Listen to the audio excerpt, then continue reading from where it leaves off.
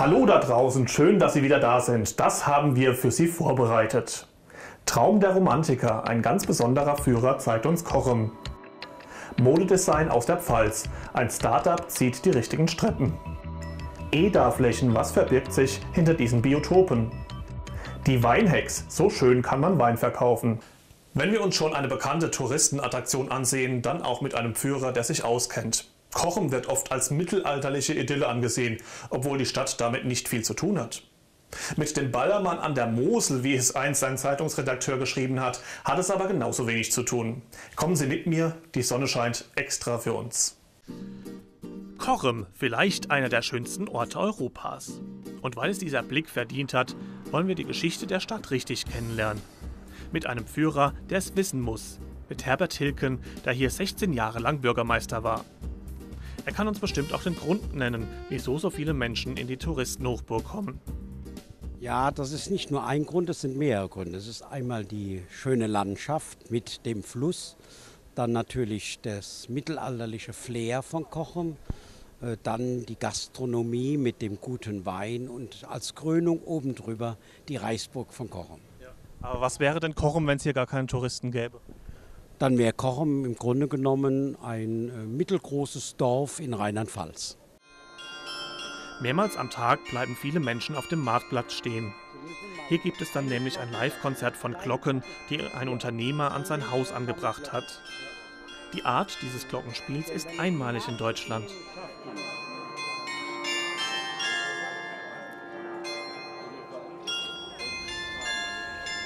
Korem liegt am Wasser und bei großen Regenmengen auch mal im Wasser. Doch das betrifft vor allem das Wasser der Mosel. Wie aber wurde der Ort bis vor 100 Jahren mit Frischwasser versorgt? Das kommt nämlich nicht aus dem Fluss, sondern vom Berg. Ja, die Hauptwasserversorgung war durch den Marktbrunnen gegeben, der das Frischwasser lieferte für die Menschen der Stadt Kochum, weil am oberen Ende war der Bach, der ja hier unter uns in der Straße läuft, in einem Brunnen gefasst, wurde durch Leitungen als Frischwasser zum Marktbrunnen geliefert. So wie jetzt das Wasser oben rausfließt, ist das durch die Druckverhältnisse möglich und der Trog diente natürlich für Putzwasser oder Tränke fürs Vieh. Und der Bach selbst war bis in die 20er Jahre des letzten Jahrhunderts ja noch offen und der diente dann als Kloake zur Entwässerung der Stadt Kochum. Das beliebte Touristenziel wirkt heute wie eine mittelalterliche Stadt, obwohl es 1689 zerstört wurde. Wie kommt es also, dass wir uns heute wieder hier fühlen wie im Mittelalter? Ja, weil die Grundstrukturen der Stadt sind so erhalten geblieben wie vor der großen Zerstörung. Das ist topografisch bedingt, aber auch dadurch bedingt, dass die Straßenzüge niemals verändert wurde, dass die Größe der Plätze unverändert ist und dass auch die Häuserrichtungen, sprich Fürstrichtungen, alle so sind wie im Mittelalter, denn es wurde ja nach der Zerstörung im 18. Jahrhundert im Grunde genommen auf der Ruinenstadt, sprich den Kellern und den Erdgeschossen, wieder aufgebaut. Und dadurch wirkt das heute strukturell wie eine mittelalterliche Stadt. Auch einzelne Schrullen aus dem Mittelalter wurden beibehalten, damit sich der Tourist an alte Zeiten erinnert fühlt.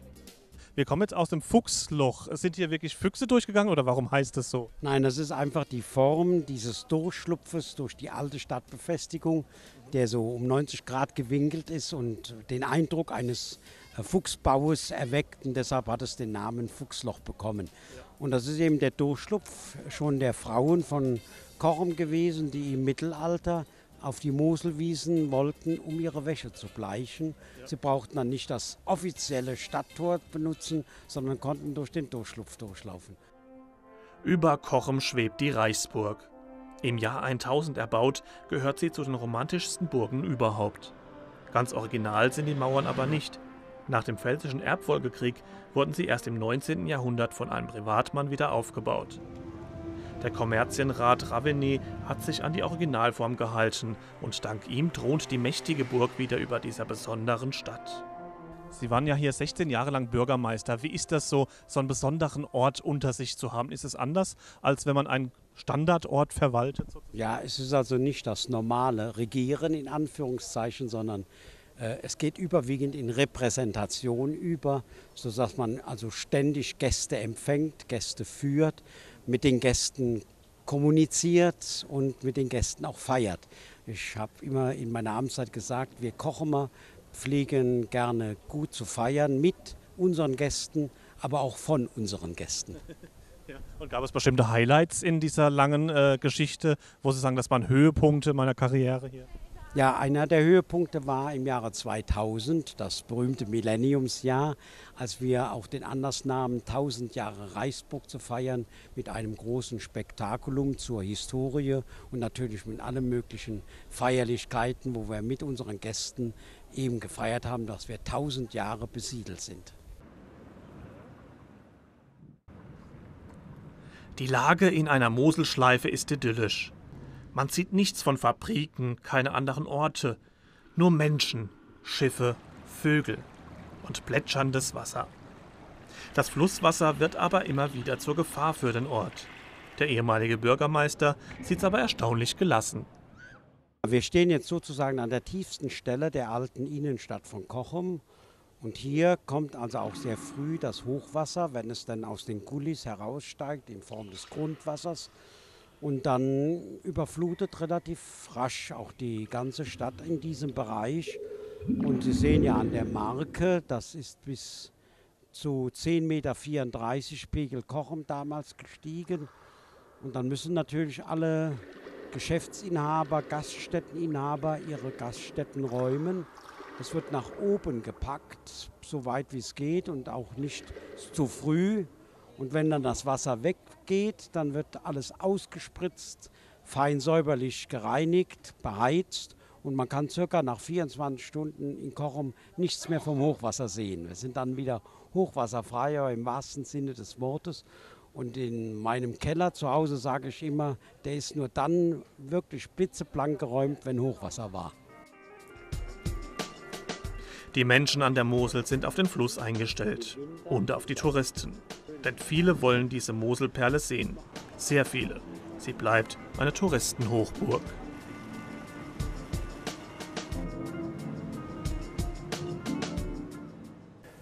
Eine Hochburg für Designer scheint Zweibrücken nicht zu sein. Es gibt dort zwar Mode-Outlets, aber gestaltet wird dort keine Mode, oder? Ein neuer Designer kommt zumindest aus der Stadt in der Pfalz und seine kleine Firma verteilt sich auf ganz Deutschland.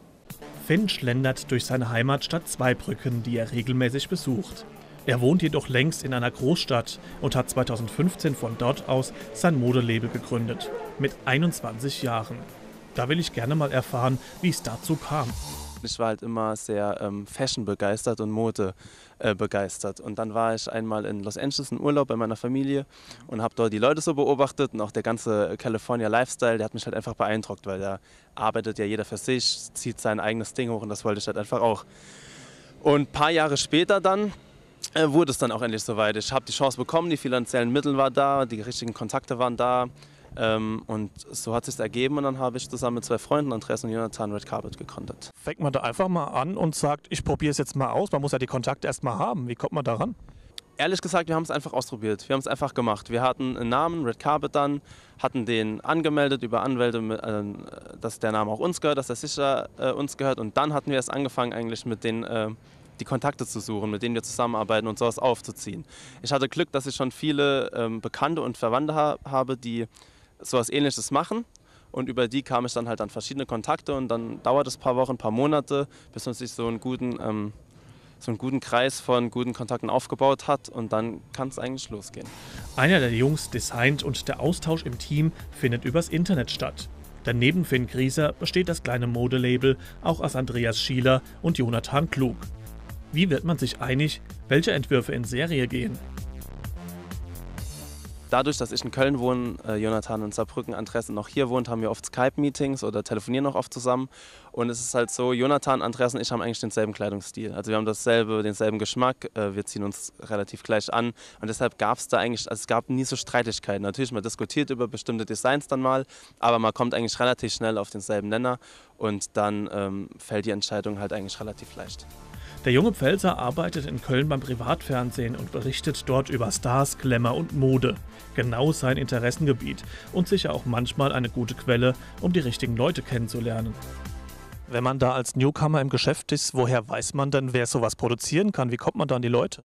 Das eignet man sich an. Also bei uns war es so, dass äh, wir im Bekanntenkreis schon Produzenten hatten, gewisse Leute, und über die lernt man dann wieder neue Leute kennen. Was mir in meinem Beruf sehr weitergeholfen hat, ist die ganzen prominenten Leute, die ich kennengelernt habe, die uns auch unterstützen. Also wir geben den Klamotten, die posten das auf ihren Social-Media-Seiten und somit machen die uns ja bekannter. Das ist, denke ich, ein großer Vorteil von uns, dass wir von Anfang an Leute haben, die uns unterstützt haben, die man halt schon kennt, also Personen, Personen des öffentlichen Lebens. Und das war oder ist ein großer Vorteil von uns, meiner Meinung nach.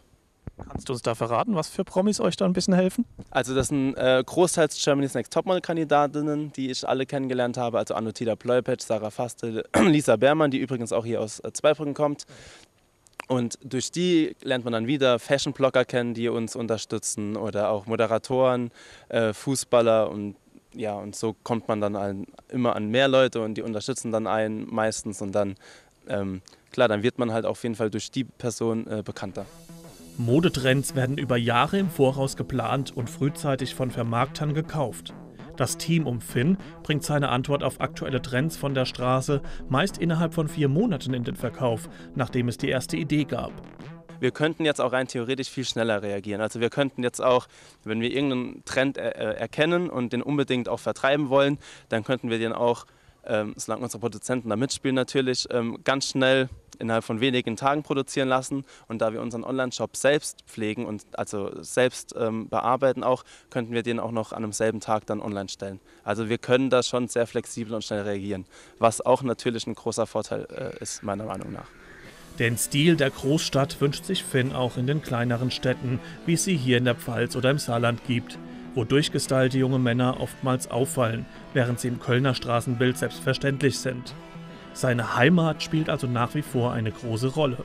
Hier in Zweibrücken besuchst du öfter deine Familie, wohnst aber in der Großstadt. Ist der Bezug zu Zweibrücken, zur Heimat noch wichtig oder braucht man das Großstadtflair, um überhaupt so ein Modelabel machen zu können? Also ich würde sagen beides. Also der Bezug zur Heimat ist auf jeden Fall wichtig. Ich komme immer noch gern hier nach Zweibrücken. Ich meine, das ist immer meine Heimatstadt. Ich wohne zwar seit längerem nicht mehr hier, wohne jetzt in Köln mittlerweile. Ich denke, man braucht beides. Also einerseits den Großstadtflair, um halt einfach zu wissen, was so in der Modewelt auch abgeht, weil es halt einfach so Großstädte sind halt international. Das sind halt Menschen aus der ganzen Welt, Touristen, äh, Einheimische. Und da sieht man auch die Leute, was sie so anziehen. Und das macht für ein Modelabel ist es natürlich wichtig, dass man immer dem neuesten Trend nachgeht. Nichtsdestotrotz ist natürlich, vergessen, vergessen wir natürlich nicht, wo wir herkommen. Also wir sind alle, ähm, oder ich bin Zweibrücker, ich komme immer noch gern hier hin und ich unterstütze auch die Stadt immer noch gerne. Zum Beispiel sind wir ab äh, der Saison 2016, 2017 Sponsor von der A-Jugend-Bundesligamannschaft des SV 64 Zweibrückens hier. Ist eine Handballmannschaft, die betreibt mega coole Jugendarbeit und ähm, die wollen wir dann halt durch unser die wollen wir dann halt unterstützen. Also wir haben unseren Logo jetzt vorne auf, auf dem Trikot bei der Mannschaft und somit wollen wir halt auch etwas der Stadt zurückgeben. Weil ähm, ich habe ja hier 19 Jahre gelebt oder 20 Jahre gelebt sogar und ähm, klar, also Zweibrücken bleibt für immer meine Heimat. Der Mensch ist heute mobil und man kann sich in vielen Städten zu Hause fühlen. So geht es auch Finn. Trotzdem kann er intensiv mit Menschen zusammenarbeiten, die wo ganz anders wohnen und sich mit Andreas und Jonathan den gemeinsamen Traum erfüllen. Noch machen alle drei das Modelabel nebenher. Soll das so bleiben? Jeder äh, ist noch in seinem Job bzw. studiert. Ähm, unser Plan jetzt so am Anfang ist einfach bekannt zu werden. Wir wollen Red Carpet etablieren, wir wollen, dass die Leute Red Carpet kennen. Das ist unser erstes Ziel. Das wird auch noch äh, lang genug dauern. Aber klar, wenn man jetzt utopisch denkt und äh, so die großen Ziele ist natürlich irgendwann, dass wir alle drei davon leben können. Wir werden Finn Grieser sicher noch öfter sehen. Ob in der Zweibrücker Fußgängerzone oder in Köln, ob bei RTL oder in den sozialen Medien. Und vielleicht werden immer mehr Menschen die Kleidung tragen, die er und sein Team kreiert haben. Die Gartenakademie Rheinland-Pfalz gibt Tipps für eine Gartengestaltung, die Mensch und Natur gut tut. Aber das gilt nicht nur für private Gärten. Auch die Kommunen werden beraten, wie sie Flächen sinnvoll nutzen, die eh da sind. Und damit habe ich schon verraten, woher der Name dieses Projektes kommt.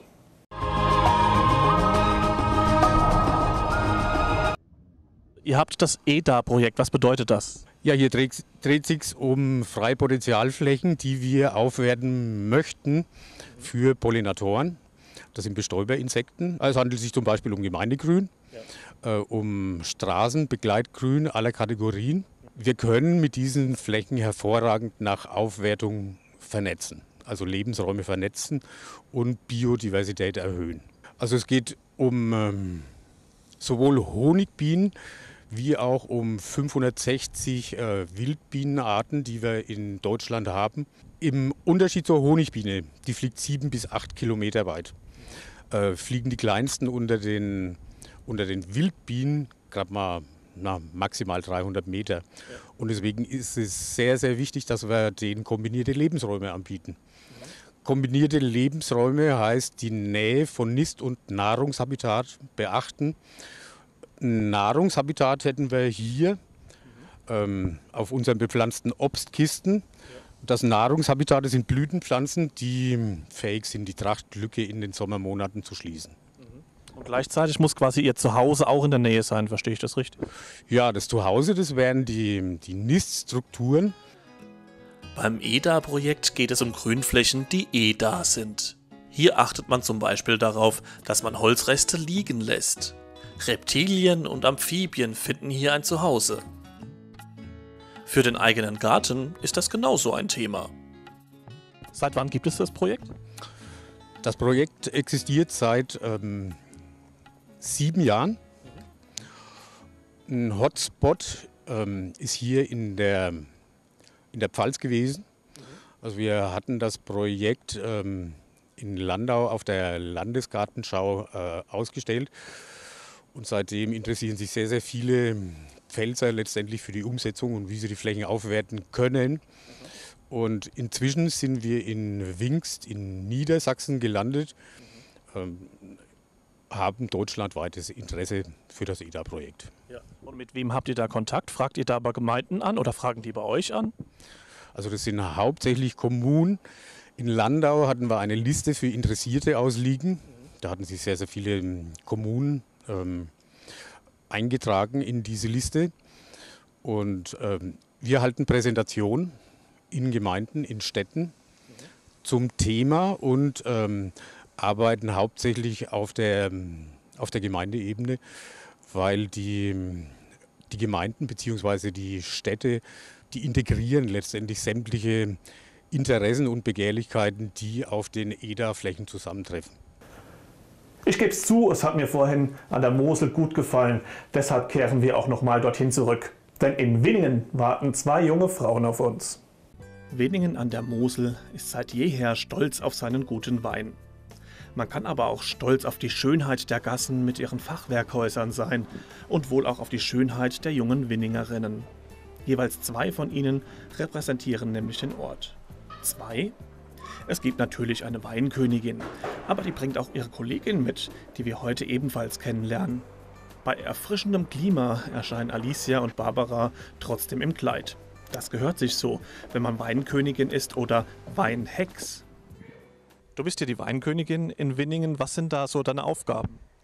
Ja, ich repräsentiere mit meiner Weinhextin äh, das Dorf. Wir werden oftmals eingeladen, zu Veranstaltungen zu kommen, auf Weinfeste an der Untermosel oder auch Dörfern, äh, Nachbardörfern. Mhm. Und ähm, zu irgendwelchen anderen Weinveranstaltungen oder auch in Winningen Veranstaltungen, die nicht unbedingt mit Wein zu tun haben, sondern generell, wenn hier irgendwas Jubiläar, Jubilar feiern oder äh, Altentag oder so, da werden wir dann auch zu eingeladen. Ja. Und du bist die Weinhex, sowas gibt es ja wirklich nicht überall. Warum gibt es eine Weinhex? Ähm, ja, in Winningen gibt es halt ein Lied über die Weinhex. Es gibt den Winninger Weinhexwein und den Weinhexbrunnen. Das Ganze beruht halt auf einer Sage, die man sich hier erzählt. Und deswegen ist das so das Maskottchen von Winningen. Ja.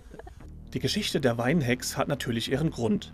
Im 17. Jahrhundert musste sich ein Winninger Winzer darüber ärgern, dass sein Weinfass leer getrunken wurde. Man nannte ihn Pfeifenhannes. Er versteckte sich eines Nachts und wartete ab, bis der Weindieb abermals zuschlug und Wein stehlen wollte. Der Dieb war schließlich eine Diebin, und zwar seine eigene Frau. Aufgrund des heimlichen Diebstahls vertrieb er sie aus dem Ort. Der Sage nach kommt diese diebische Hexe immer wieder nach Winningen zurück und verzaubert die Menschen mit Mystik und Charme. Seit vielen Jahrzehnten sieht man in der Figur keine zänglische alte Frau mehr, sondern eine junge Dame mit Eleganz und Weinkenntnis. Jetzt muss ich aber mal fragen, warum ist eine Hex nicht hässlich? ja, liegt wohl in meinen Genen. Zur Weinmajestät bewirbt man sich. Also wir hätten es jetzt auch nun dieses Jahr gemacht, weil wir ähm, beide 27 sind und haben gesagt, wenn, dann machen wir es jetzt. Mit 30 wollen wir nicht mehr auf dem Weinbrunnen stehen, da wollen wir was anderes machen. Und die anderen zwei, die sich dann äh, beworben haben, die würden das dann in zwei Jahren machen. Die sind noch ein bisschen jünger. Mhm. Genau. Musstet ihr jetzt einiges über Wein noch lernen für diesen Job? Ja, also so ein bisschen muss man halt schon wissen, dass die Weinlese nicht im Januar ist, sondern halt im ähm, Herbst. Ja, aber ähm, so Grundwissen ist halt schon ganz gut. Aber ich äh, könnte jetzt nicht den genauen Ablauf sagen, wie man den Wein herstellt. Aber das eignet man sich dann auch in den zwei Jahren ein bisschen an. Und wir haben uns halt auch im Vornherein bei den Winzern ein bisschen informiert. Ja, ja und da halt auch einiges noch gelernt, was mhm. man jetzt so nicht wusste. Ich denke, das ist bestimmt eine interessante Erfahrung, so einen Job zu machen. Lernt man da ganz neue, interessante Leute kennen? Ja, das auf jeden Fall. Wir hatten vor allem ähm, letztens äh, den Prinz von Baden kennengelernt und auch unsere Vorgängerinnen waren auf der Grünen Woche in Berlin und haben da auch einige Politiker kennengelernt. Und das ist schon ganz interessant. Auch so, wenn wir auf Veranstaltungen sind, lernt man auch immer nette Menschen kennen. Wir waren auch letztens mit der Bundeswehr essen, haben da ein paar Altgenerale kennengelernt und die waren auch wirklich lustig. Einen Lieblingswein haben die beiden Majestäten nicht. Ein Weißer darf es gerne sein. Sie trinken ihn gerne, aber üblicherweise nicht um 11 Uhr morgens. Für uns machen sie eine Ausnahme. Das Schöne dabei ist, neue Leute kennenzulernen. Ähm, wir dürfen viel Wein probieren, wir werden auf viele Veranstaltungen eingeladen und ähm, ja, lernen die, die Welt irgendwie neu kennen. Auf eine andere Art und Weise. Wer wird eigentlich Weinkönigin und wer Weinhex? Das war nicht von Anfang an klar. Als wir das dann halt jedem erzählt haben, meinten die aber alle, dass es besser zu mir passt. Also ich, die Weinhex, äh, das würde besser passen okay. und äh, die Barbara halt die Weinkönigin. Ja. Genau, und dann haben wir halt getauscht. Alicias Vater hat den Winninger Weinkeller, die Dorfdisco, in der die Winninger Nächte gerne mal im Hellen enden. So ist es für sie nicht neu, mit weinliebenden Menschen zu feiern. Doch es gab noch einen weiteren wichtigen Grund, wieso sie dieses Amt angestrebt hat. Deine Großmutter war auch Weinhex, oder? Ja, die war Weinhex, die, sie war ähm, Weinkönigin und sogar Gebietsweinkönigin von Mosel-Saruwa. Mhm. Ja, und das sogar zwei Jahre, was normalerweise auch nur ein Jahr ähm, gewählt wird. Ja, und da war sie sehr stolz. Also ich glaube, keiner hat so viel geweint an der Krönung wie meine Oma. okay.